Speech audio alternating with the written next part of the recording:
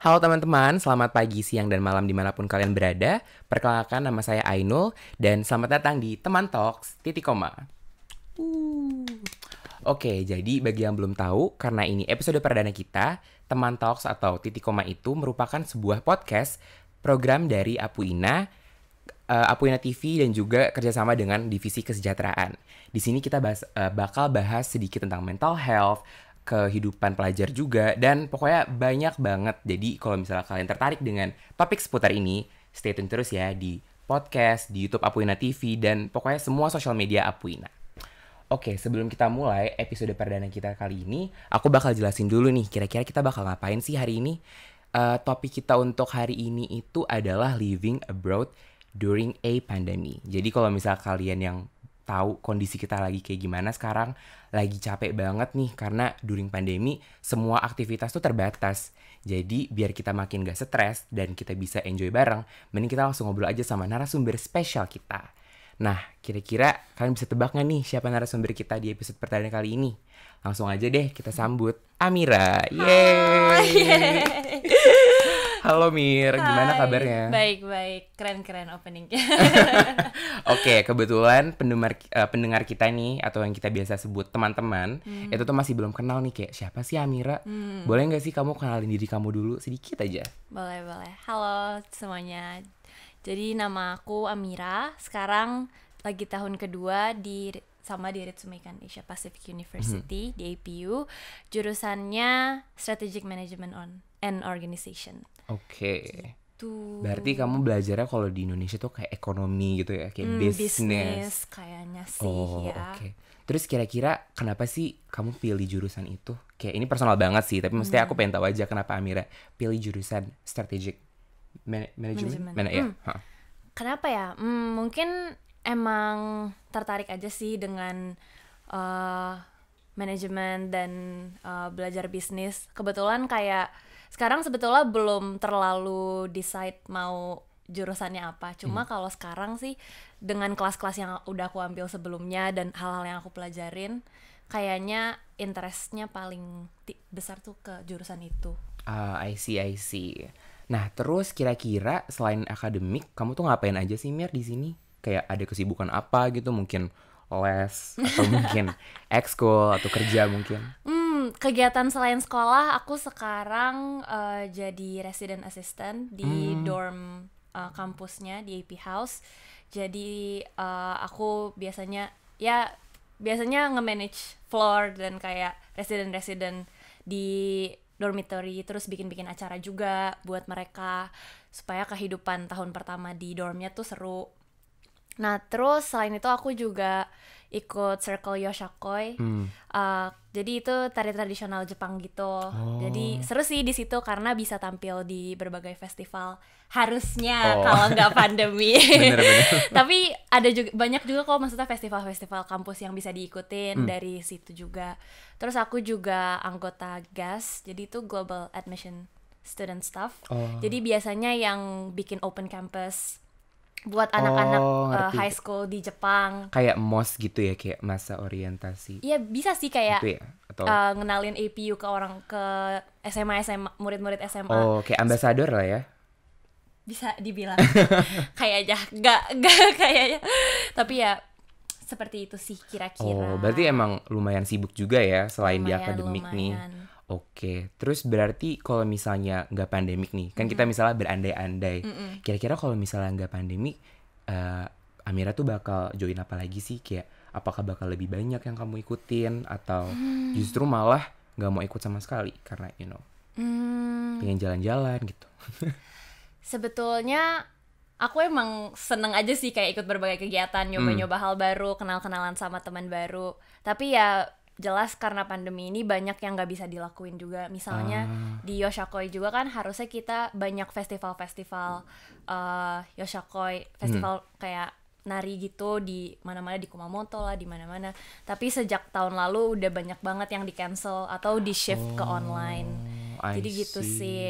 Tapi em, ya susah sih di awalnya karena sedih juga karena jadinya nggak bisa experience hal-hal kayak gitu. Tapi lama-lama ya banyak opportunity opportunity baru sih jadi Ah, ngerti, festival-festival itu jadi online terus jadi ditayangin di TV jadi kan kayak yang biasanya cuma bisa tampil di festival depan orang-orang tapi sekarang jadi punya apa ya udah eh, punya opportunity untuk tampil di Mm. TV Jepang itu jadi kayak walaupun ya jadi one one closed Bener door leads ya. to another Ha-ha. sih jadi kayak gitu. bener-bener kesempatan yang jarang banget nih kalau misalnya nggak pandemi kira-kira kayaknya nggak bakal dapet Iya, lah ya. iya. oke ngerti-ngerti. Soalnya kayak setahu aku kamu juga masih tinggal di dorm ya yang deket banget sama kampus. Karena kebetulan kita kampusnya tuh sama di Ritsumeikan APU kebetulan itu AP House itu lokasinya tuh agak berbeda sama kota Beppu di mana eh, kampus itu tuh ada. Jadi emang lumayan jauh ya kayak ada 45 Iya. menitan. 40 menit kalau naik bus kira-kira eh, situasi di AP House tuh lagi kayak gimana sih Mir? Hmm, di dormnya Hmm. sendiri sekarang eh, lagi ketat banget preventative measure-nya karena kita tinggal bareng-bareng kan. Ah, ah, ah. Jadi eh, sekarang pun eh, kalau selain resident gak boleh masuk ke dorm. Dan abis itu di depan pintu masuknya sendiri itu Hmm. ada sistem yang buat eh, kita bilangnya rapid. Jadi itu eh, ngukur suhu. Ah, terus kalau misalnya dan harus pakai masker Oh ya selama selama di lingkungan dormnya ini. Habis itu ya banyak alkohol di mana-mana. Walaupun tahun lalu semua acara itu di cancel karena biasanya acara ngumpul-ngumpul kan. Tapi sekarang kita udah mulai eh adaptasi lagi lah ke acara-acaranya lagi. Tapi kita bikin Mm. eh, acara itu sesuai preventative measure yang harus dia ikuti misalnya dis- eh, misalnya kayak dua jarak 2 meter Ah, antar benar-benar. residen abis itu nggak boleh makan-makan bareng lagi Iya, gitu-gitu banyak sih perubahannya tapi sebisa mungkin karena aku kayak sebagai RA juga Mm-mm. Ya sebisa mungkin bikin kegiatan yang bisa bikin residennya seneng lah tinggal di dorm Ah ngerti-ngerti. Gitu. Soalnya emang sebagai resident assistant ya, Mm-hmm. emang bener-bener harus bikin suasana AP House tuh homey gitu nggak Hmm, sih? iya. Oke, ngerti-ngerti. Soalnya juga kalau bisa dibilang untuk generally kita juga harus bisa adaptasi nggak sih during situasi yang bener-bener Betul. emergency kayak gini. Betul. Soalnya siapa sih yang mikir kita bakal stuck di rumah atau you know semuanya harus online yang kita kita nggak prepare sama sekali gitu kan Mir gitu. Betul. Oke, ngerti-ngerti. Nah, ngomongin soal hidup di AP House, Mm-hmm. kalau misalnya aku sendiri kan hidupnya udah di downtown ya. Jadi kalau misalnya di- bisa dibilang lebih gampang lah akses ke berbagai macam uh, fasilitas. Kayak Mm-hmm. misalnya di sini kan ada uh, kayak supermarket Mm-hmm. atau convenience store. Jadi menurut aku sih kalau misalnya udah tinggal di bawah di downtown itu lebih enak sih, lebih kerasa banget. Kalau misalnya uh, apa-apa tuh ada di jangkauan tangan kita Mm, lah. Nah, soal ngomong apa? Soal tinggal di bawah, kira-kira Amira ada plan gak sih untuk pindah dari AP House atau kira-kira kapan nih kamu bakal tinggal di downtown?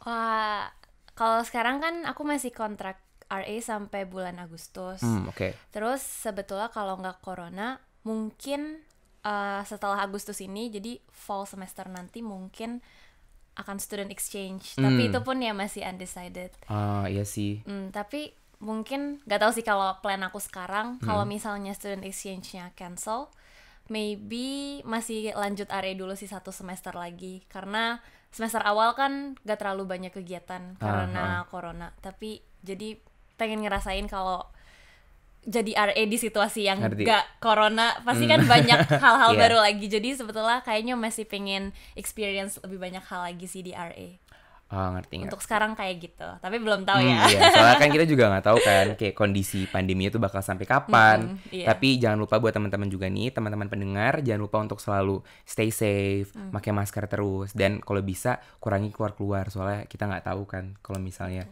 ya virus kan di mana aja ada gitu loh. cuci tangan Ha-ha. Terus mungkin kalian masih ba- uh, banyak yang bingung nih kalau misalnya uh, Amira tuh tinggal di mana sih sekarang? Terus apa sih RA? Tadi tadi ngomongin apa? Sebenarnya kita bakal lebih ngebahas ini di segmen yang sekarang kita mau masukin. Namanya living living abroad during a pandemic. Jadi sebenarnya kita berdua itu merupakan pelajar yang sekarang lagi belajar di uh, Jepang. Dan sebenarnya banyak juga sih teman-teman kita yang ada di luar negeri lainnya. Tapi kita lebih fokus di Jepang soalnya it's familiar gak sih? Iya. Oke, jadi kalau misalnya kita mau masuk nih, pertanyaan paling simpel banget. Kenapa sih kamu decide untuk belajar di luar negeri, terutama di Jepang nih, especially? Hmm, Hmm, seru sih. Kayaknya itu banyak pertanyaan selalu ditanyain, selalu Betul. ditanyain. Kenapa ya? Kenapa ya? Tapi sebetulnya kalau dipikirin lagi, kenapa ya gitu loh. Hmm. Tapi eh, dulu sih apa namanya? Pertama a- kalau aku sendiri rencananya sih maunya kuliah di Indonesia aja. Hmm. Tapi setelah eh, konsultasi, setelah konsultasi sama orang tua, sama guru-guru, Hmm. ya memang mungkin ada banyak experience yang bisa didapetin kalau kamu keluar jauh tinggal Ah, sendiri benar-benar. j- jauh dari zona nyaman kamu di Mhm. Indonesia yang keluarga kamu ada, yang rumah juga ada gitu-gitu.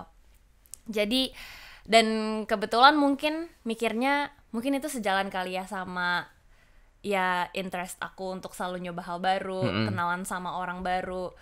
eh ya jadi kayaknya ya dan gak ada salahnya juga kalau dan pun kalau kebetulan disupport juga sama orang tua. Ah, Jadi benar-benar. mm, insya Allah sih kayaknya pilihan yang tepat Ah, I see. pergi ke luar negeri. Tapi kira-kira sebelum kamu decide nih untuk berangkat ke Jepang, Hmm. kamu tuh agak ragu gak sih? Atau misalnya kayak apakah ntar di Jepang tuh bakal aman? Hmm, Atau gimana sih rasanya tinggal sendirian? Soalnya kan technically sebenarnya kita semua di sini sendiri gak sih? Hmm, Walaupun sebenarnya lumayan banyak komunitas Indonesianya. Mm, mm, mm. Kira-kira dari kamu gimana, Mir?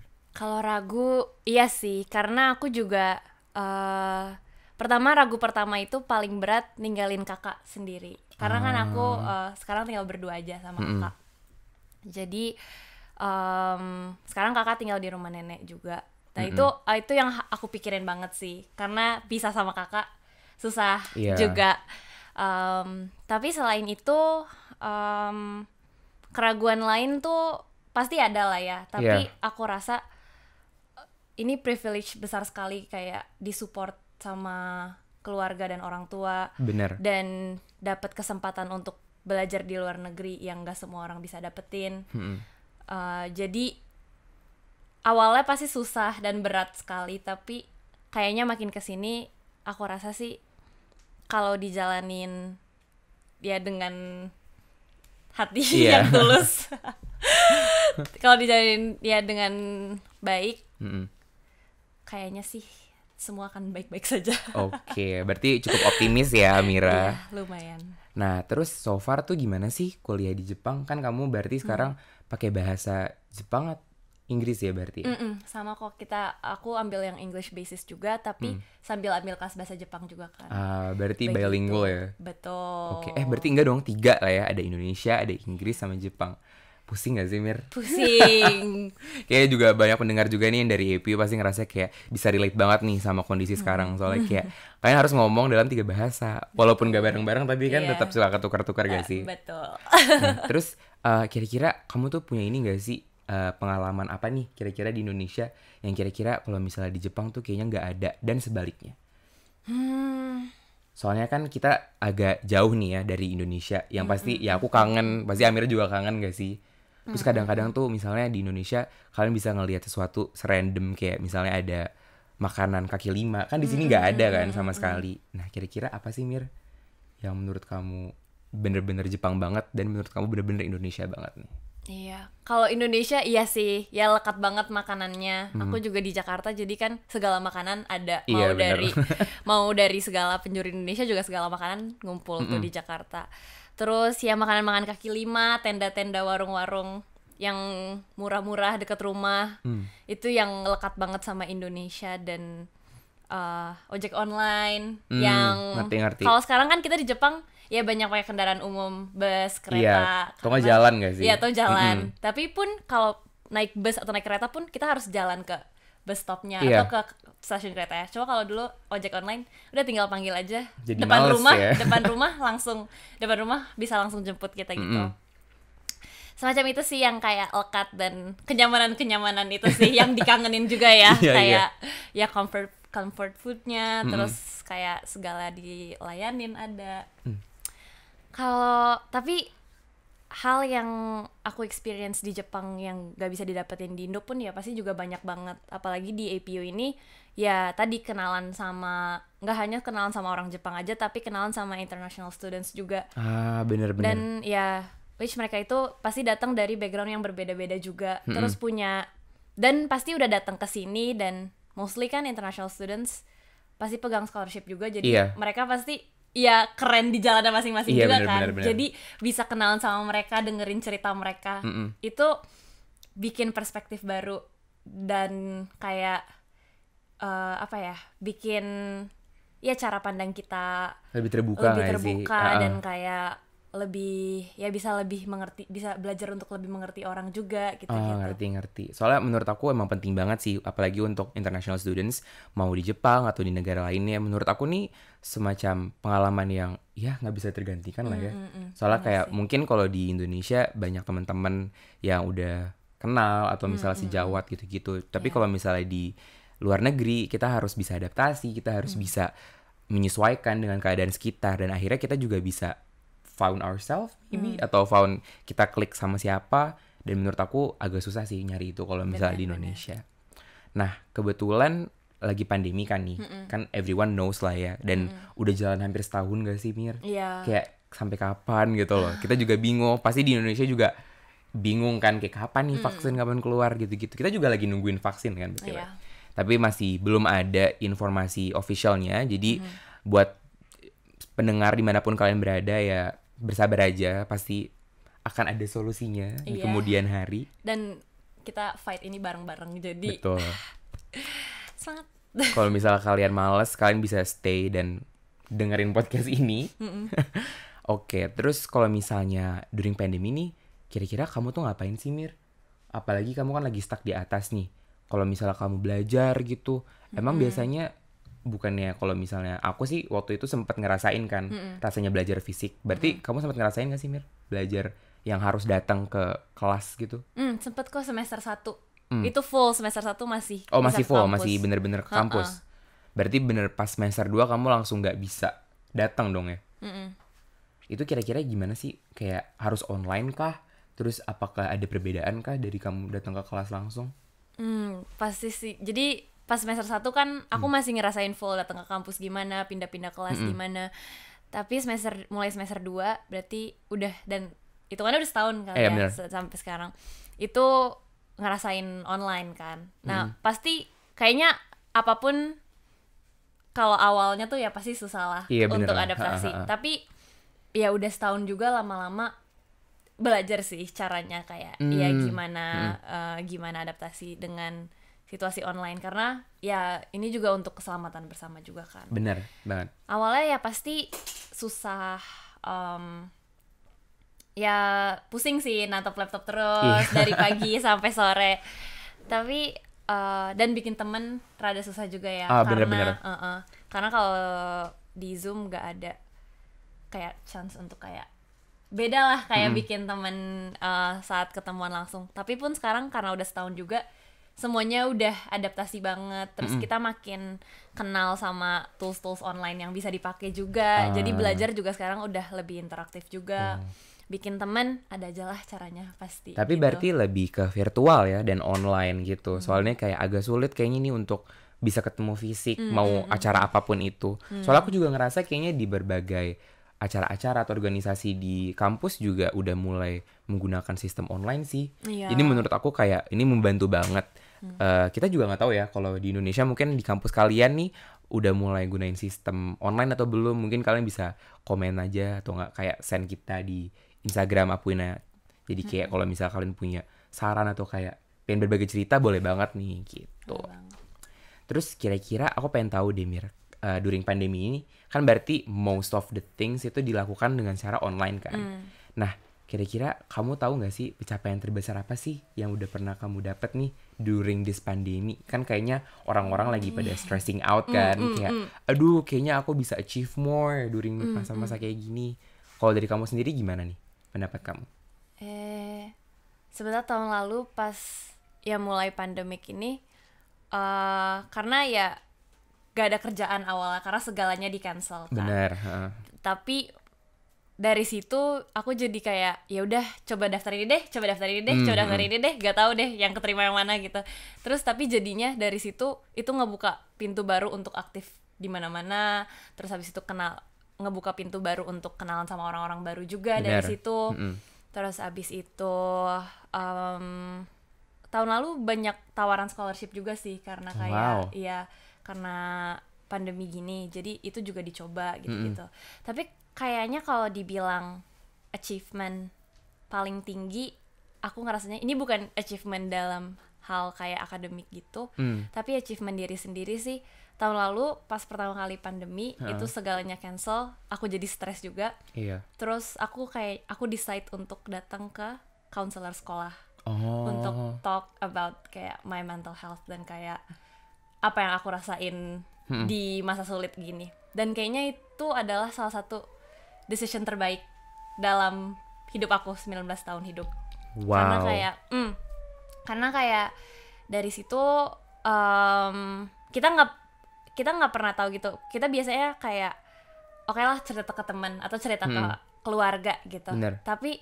ternyata cerita ke counselor dan seek help ke profesional itu rasanya beda dan dari situ itu ngebantu aku banget untuk ya terus kayak ya terus fight lah di Wow. pandemi ini dan itu sih jadi kalau ditanya achievement terbaik aku kayaknya aku akan jawab untuk memilih untuk datang ke counselor Wah, hebat banget sih.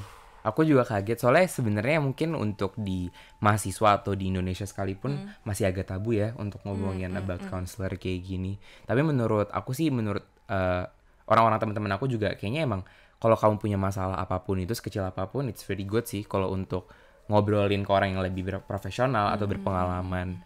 Kira-kira kamu bisa kasih saran gak sih nih ke pendengar-pendengar kita nih, teman-teman kita di Indonesia ataupun di lokasi di mana pun kalian berada nih, kenapa sih kita harus ngobrol ke counselor gitu loh? Kira-kira dari pengalaman Amira sendiri nih yang udah pernah ya sharing lah istilahnya, itu tuh apa sih yang kamu dapetin? Hmm, kadang apa ya? Sebetulnya ini pilihan masing-masing juga sih menurut Hmm. aku kayak apa. Tapi kadang em, kita ngerasa kita kayak eh bisalah selesaiin masalah ini sendiri. Hmm. Tapi pada akhirnya tuh itu cuma akan bikin masalah baru lagi karena Bener. kita eh, karena kita jadi ruwet sama segalanya Hmm. sendiri. Nah, keruwetan itu bisa dibukain kalau aku ngobrol sama counselor aku. Jadi Ah. kadang pun aku nggak tahu aku ngerasanya aku harus ngerasa kayak gimana Iya. sama masalah yang aku hadepin ini atau kayak sebetulnya aku kira masalah ini tuh ya kayak ya sebetulnya biasa aja sih. Ini tuh kayak ini masalah nggak penting sih. Tapi ternyata dari sumber masalah ini tuh kayak menyebar nih ke hal-hal lain dan kayak uh, bikin ya ad- bikin dampak ya berdampak lah ke hal-hal lain. Makanya to talk it out with a counselor dan kayak dan mereka tuh sebetulnya pun bukan memberikan jawaban tapi mereka Oh. cuma membantu kita menemukan jawaban kita sendiri. Oh. jadi itu sih yang hebatnya. Kadang aku juga kayak dari pertama pun kayak aku nggak tahu lah harus cerita mulai dari mana atau kayak aku nggak tahu aku ngerasa gimana. Tapi dia bisa aja gitu loh bikin kayak aku cerita pelan-pelan dan kayak istilahnya kalau kayak ada benang ruwet atau kayak kabel earphone ruwet ini dia kayak pelan-pelan di Oh, pelan-pelan di- dibukain, dibukain gitu, gitu. jadi kayak itu sih serunya dan kayak hmm, itu sih. Sebetulnya untuk datang ke counselor atau enggak pasti ya pilihan masing-masing lah. Mm-mm. tapi kalau misalnya udah stuck banget dan kayak udah ceri udah coba cerita ke teman atau udah coba selesaiin masalah sendiri pun masih nggak ketemu jawabannya coba aja dulu sekali datang.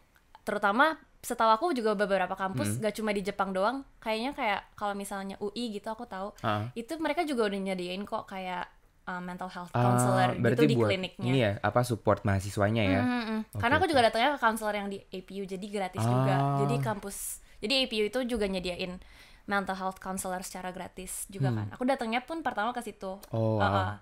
Dan mereka pun nanti akan menilai sendiri apakah mau dirujuk ke psikolog di klinik beneran atau kayak bisa ngobrol sama mereka aja. Tapi so far aku ngobrol sama mereka aja merasa cukup sih. Ah, kayak merasa cukup. Dan sebetulnya masalahnya pun kadang-kadang nggak harus berat yang kayak masalah keluarga atau apa. Kadang Hmm. as simple as kadang pusing dapat nilai jelek ujian Ah. terus kayak atau kayak pusing nih kayak suka sama orang gitu-gitu. Ah. Tapi hal-hal tersebut tuh yang kita kira hal-hal kecil, Hmm. tapi itu pada akhirnya pun berdampak nih sama keseharian keseharian keseharian kita. Iya, iya. Dan kalau dan apa namanya?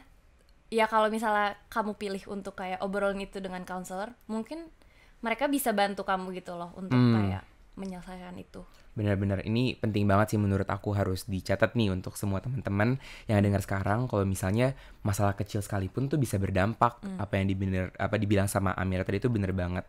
Terus menurut aku juga konselor itu bisa jadi pendengar yang baik gak sih Mir? Soalnya kadang-kadang tuh mungkin kalian pengen curhat tapi teman-teman kalian juga mungkin sibuk atau nggak ada orang yang available. Sebenarnya konselor tuh cocok banget sih buat dengerin curhatan kamu. Soalnya kalau misalnya kamu curhat sama ke teman kadang-kadang gak dijawab. Apa yang kamu pengen curhatin atau nggak keluar semuanya. Mungkin karena konselor itu profesional dia mungkin bisa ngasih bantu jawaban buat kamu yang lagi bingung nih kira-kira harus kayak gimana. Gitu sih. Nah terus ada satu pertanyaan terakhir kali ya Oke. untuk di sesi ini yang ya iseng aja sih. Sebenarnya pertanyaan yang lumayan sulit untuk aku sendiri. Kira-kira kalau misalnya kamu bisa muter waktu nih Mir. Kira-kira kamu bakal ngapain sih sebelum datang ke Jepang? Kayak what would you do di Indonesia gitu. Hmm. Kayaknya sih belajar bahasa Jepang lebih serius.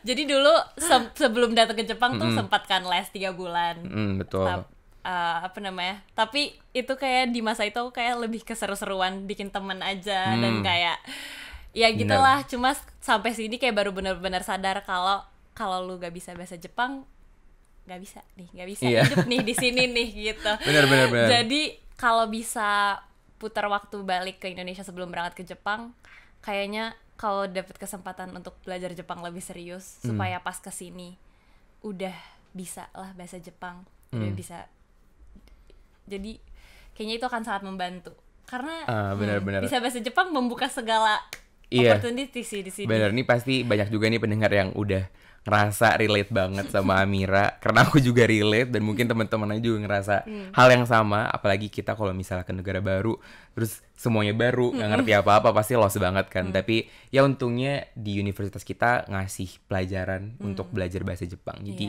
ya oh, ya alhamdulillah lah ya. Ya. Heeh. Oke, berarti untuk sesi ini sampai sini dulu nih. Di sesi selanjutnya buat pendengar yang masih kepo atau penasaran kira-kira gimana sih kuliah di luar negeri tuh kak atau mungkin ada pertanyaan-pertanyaan yang udah kalian tanya di question box kemarin kita bakal bahas secara tuntas di ques- eh, di sesi Q&A berikutnya. Jadi stay tune terus ya. Nah, teman-teman balik lagi bareng aku Ainul dan Amira. Nah, di sesi Q&A kali ini kita udah dapat banyak banget nih Mir pertanyaan dari teman-teman yang udah kita kasih di Instagram di eh, kemarin lah ya. Ada question box-nya tentang episode kita kali ini yaitu living abroad during a pandemic. Kita langsung aja nih bahas satu-satu pertanyaan dari kalian semua. oke Pertanyaan pertama, eh, btw jangan lupa ya ini anonymous, jadi semua nama akan disamarkan dan kita harap sih bisa semuanya terjawab ya pertanyaannya. Soalnya menurut aku menarik banget nih pertanyaan pertanyaan kalian. Gitu. Yang pertama itu dari ya sebut saja Mawar. Kak, gimana sih cara ngadepin stres karena aku tinggal di kos jauh dari rumah. Eh, aku mahasiswa baru di salah satu universitas yang jauh dari rumah aku. Oke, berarti menurut aku ini nggak harus di luar negeri lah ya. Bisa juga di misalnya kamu tinggal di kota A terus kamu kuliahnya di kota B, terus misalnya kamu harus ngekos itu kan berarti kamu ada di suasana baru nih. Kira-kira kalau misalnya dari Amira sendiri gimana nih? Saran atau tipsnya? cara ngadepin stres kan berarti Iya, ngadepin stresnya, ha, bener. Hmm, ya balik lagi sih, kayaknya kan tiap orang beda-beda. Tapi kalau aku sebetulnya as simple as ya kebetulan aku suka masak misalnya. Jadi Heeh. kayak jadi coba-coba hobi eh coba-coba hobi kamu aja gitu Ah, loh misalnya. ngerti-ngerti. suka masak ya udah coba-coba masakan baru, coba-coba resep resep-resep baru atau kayak cari-cari hobi baru juga biar benar, kayak eh, biar kayak lupa dah tuh sama si stresnya. Ha-ha. Jadi ya udah misalnya lagi suka masak, masak. Tapi ntar kalau udah bosen main musik, aku main ukulele gitu-gitu Ah, ngerti. atau nyanyi-nyanyi atau nari-nari. Tapi kayak Hmm. coba-cobain aja hal-hal baru, hobi-hobi baru. Hmm. Terus em, atau makan sih. Udah. Ah, benar-benar. Makan tuh biasanya stres tuh karena nggak makan. Iya. Jadi jangan lupa makan. Ya. Benar-benar.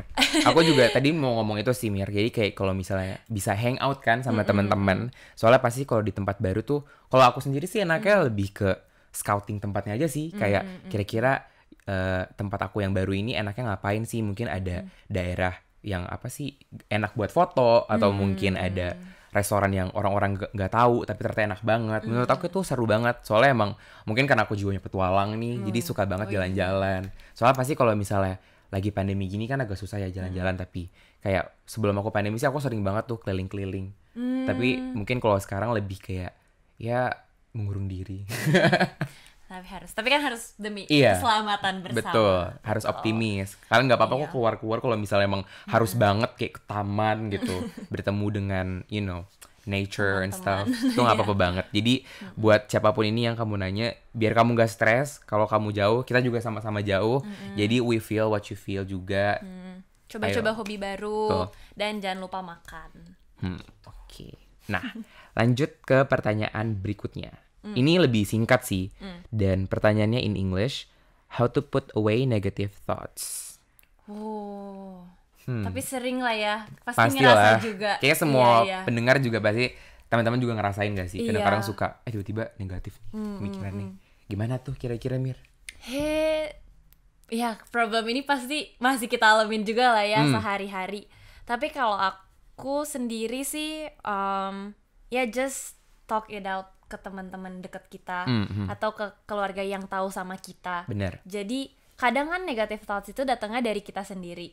Hmm. Padahal gak terjadi lah atau gak ak- belum terjadi atau nggak akan terjadi. iya Jadi dan kalau itu tuh bikin kita bisa bikin kita pusing banget atau kayak sedih, Hmm. it's better kalau bisa. Jadi just talk it out to teman-teman terdekat Ah, atau supaya dan mereka pun nanti akan kasih pandangan terhadap itu gimana benar-benar. mereka ngelihatnya gimana karena kadang yang bisa ngelihat kayak sisi positif dari yang terjadi itu tuh kita susah ngeliatnya tapi teman-teman kita yang sebetulnya tahu kita orang-orang Hmm. Iya, terdekat benar, yang benar, percaya sama kita Iya, itu benar. mereka justru bisa Ah, ah, kasih ah. kasih lihat itu tunjukin itu buat kita iya ya aku baru nyadar juga sih kadang-kadang tuh kalau misalnya kita lagi negative thinking atau pokoknya lagi mumet aja nih otaknya. Biasanya kita sendiri nggak nggak sadar nggak sih? Mm, kayak malah teman-teman terdekat kita nih atau justru orang baru yang Mm. kayak ngerasa ih dia orang lagi kenapa sih? Gitu. Menurut aku bener banget sih apa yang Amira bilang.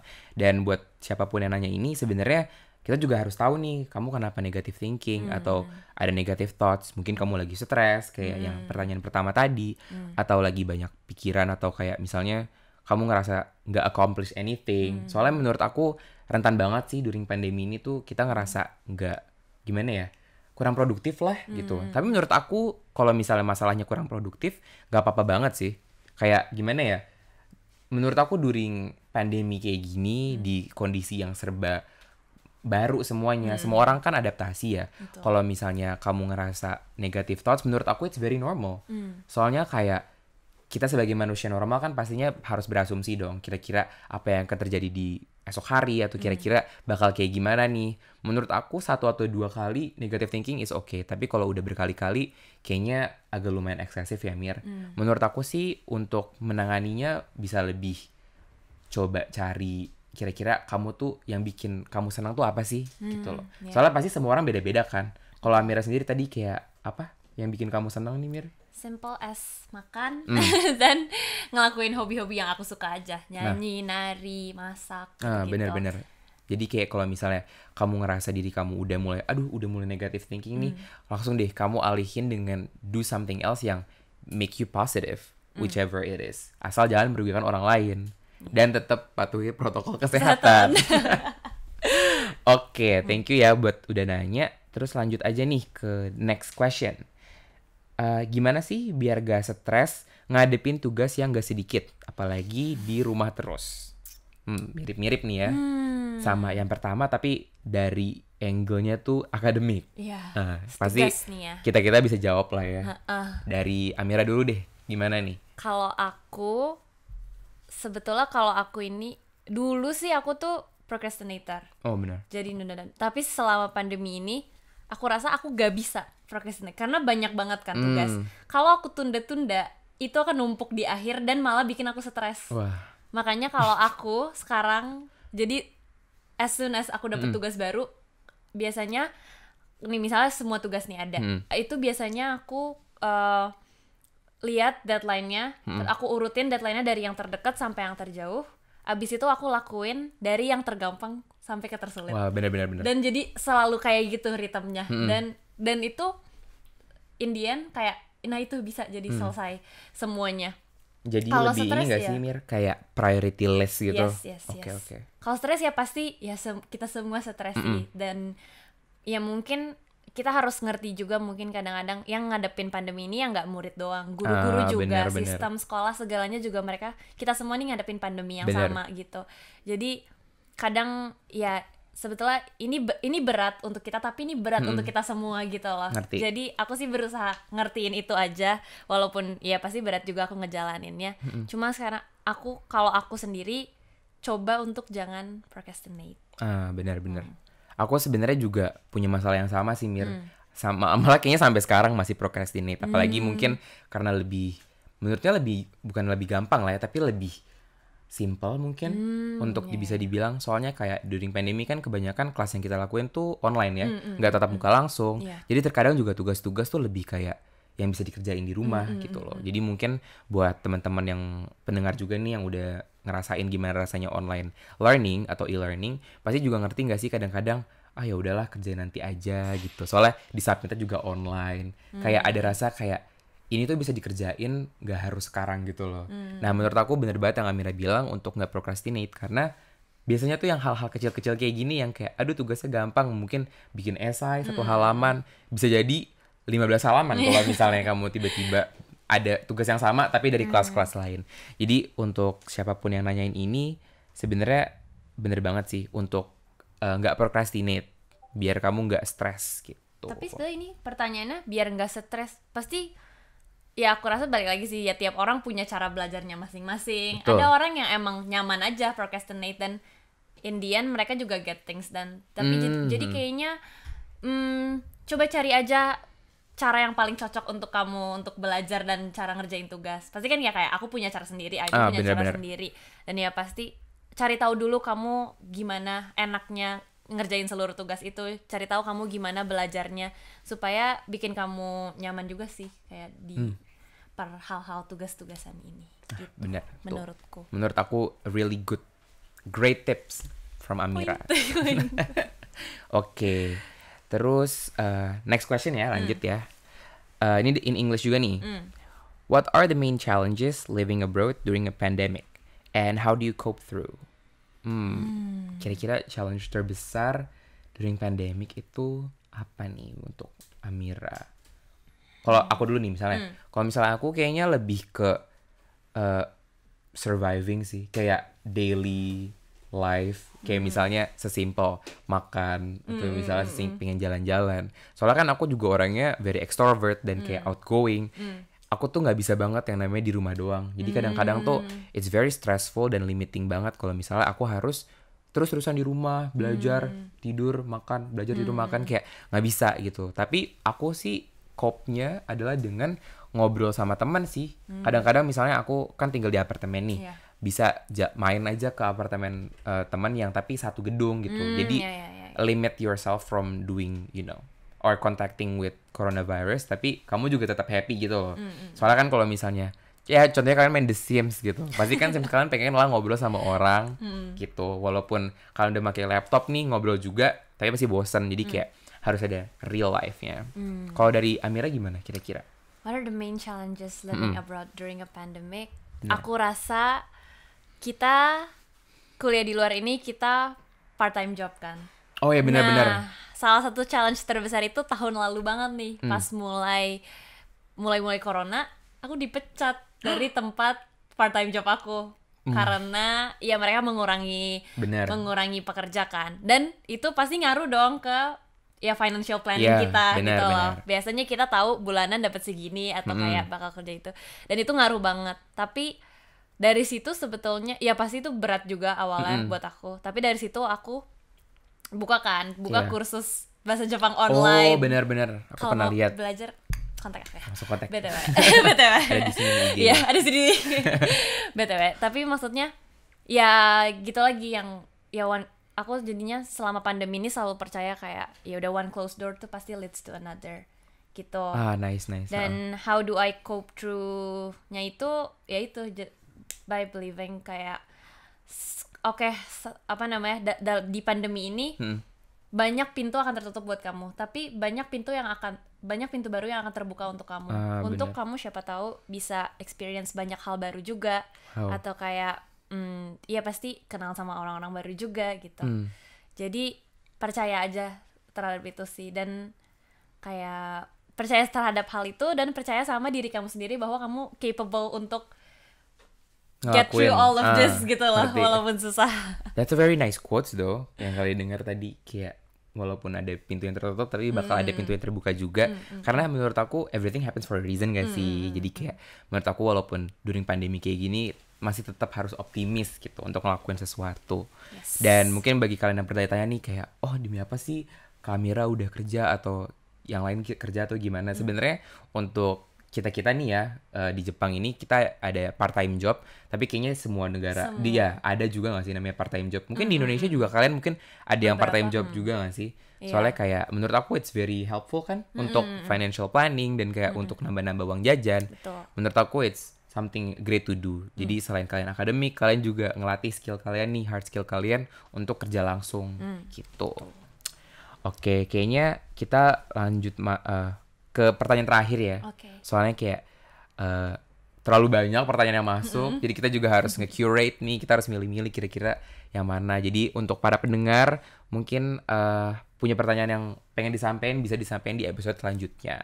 Kita minta maaf banget nih, tapi I think this will be um, very relatable to many people. Pertanyaannya adalah eh, jadi lebih sering homesick nggak sih kak pas pandemi ini? Gimana ya cara ngatasinnya? Uh. Apalagi kita semua Wah, abroad nih. iya. Gimana nih Mir? aduh kalau homesick pastilah ya sempat apalagi harusnya kalau nggak corona pengennya sih per tiap tahun tuh pulang Ah, tiap nah tahun lalu pun summer har- apa summer break kepengennya harusnya pulang tapi situasi di dua kedua negara itu kurang kondusif karena Ah. corona dan aku juga kalau di Jakarta tinggalnya sama nenek jadi aku ngerasa Ah, ngerti. mungkin akunya tuh bakal gak apa-apa tapi takutnya akan membahayakan orang rumah aku terutama nenek aku kan Ah, ya ngerti. jadi em, pasti sedih banget homesick Mm-mm. tapi cara ngatasinnya adalah um, I think for me ya just try to be happy with what you have here in ya Ah, good, kayak walaupun Ngerti, ya kamu pasti punya keluarga yang kamu sayang banget di Uh-uh. Jakarta dan kamu pengen banget pulang untuk ketemu mereka Bener. dan cerita banyak hal tapi selama kamu di sini ingatlah ad- ada orang-orang yang selalu ada buat kamu juga Ah. yang survive this pandemic together juga sama kamu Bener. yang ngadepin masalah ini juga bareng-bareng Mm-mm. terus jadi hmm, kalau aku sih ya berusaha berusaha senang dan berusaha apa ya eh, ya berusaha senang aja dengan hal-hal yang ada di sekitar aku sekarang yang ada buat aku sekarang gitu Ah, ngerti. Soalnya emang siapa pun yang nanya ini bagus banget sih menurut aku. Soalnya kayak aku Lekat juga ya, eh, eh, lekat. karena pernah homesick juga dan pasti semua pendengar juga ngerti lah rasanya gimana. Jauh dari tempat kalian, jauh dari zona nyaman, terus harus kayak adaptasi. Menurut aku homesick is a very natural thing to feel. Dan kayak kalau dari tanggapan aku sendiri sih aku kalau misalnya udah mulai kangen ya paling pertama pasti kontak lah ya siapa pun itu. mau temen kayak mau family yang ada di ya di Jakarta tempat aku eh, dulunya sebelum ke sini terus mungkin kalau misalnya kalian pernah punya barang-barang yang bisa nge apa ngejog your memory kayak misalnya kamu punya sesuatu yang dari oh ini aku belinya di Jakarta atau mungkin kamu belinya di kota lainnya terus kayak ya bisa di Ya, ya, you know kayak jadi ngebawa kalau misalnya kayak wah kayaknya seru nih kalau misalnya aku di sini gitu. Terus paling terakhir coba cari aja yang bikin kamu familiar kayak misalnya kamu suka banget di Jakarta karena makanannya. Mungkin kamu bisa coba bikin-bikin makanan yang sesuai sama lidah kalian masing-masing lah ya. Kayak misalnya makan favorit kalian apa waktu di Indonesia. Mungkin kalau ada waktu lebih kalian bisa bikin tuh kayak kalau teman-teman aku sih sering tuh bikin tiba-tiba ada bikin eh, pecel gitu-gitu atau enggak soto ayam. Kayak kan susah ya kalau misalnya di Ja- eh, di Jepang jadi kayak tapi seru aku- sih jadi eksperimen-eksperimen bener walaupun rasanya mungkin ya berbeda tapi kayak menurutku lebih experience sih yang, yang dicari gitu Oke, kayaknya eh, segitu aja ya pertanyaannya dari teman-teman. Thank you banget nih udah nanyain dan gak kerasa kayaknya kita udah lumayan lama nih ngobrolnya nih Mir. Jadi eh, mau gak mau kita harus pamit undur diri dulu. Thank you banget Amira Thank you banget I udah know, nyiapin seru-seru. waktunya. It's a very nice talk btw. Iya, Dan menurut ya. aku eh, pendengar lainnya kalau misalnya kalian mau request kira-kira kak aku mau ngobrol sama ini bisa banget tinggal tulis aja di IG kita di YouTube kita dan kayak siapa eh, mau siapa pun itu kalian tinggal request. Dan kalau misalnya visible atau you know bisa mungkin eh, pendengar kalian juga bisa nge-send question yang bener-bener very important nanti kita bakal masukin ke salah satu sesi di next next episode gitu. Hmm, seru seru seru. Oke, jangan lupa untuk follow IG Apuina, subscribe YouTube-nya, dan stay tune for next episode. Aku Aino. Aku Amira. Bye-bye. Bye bye.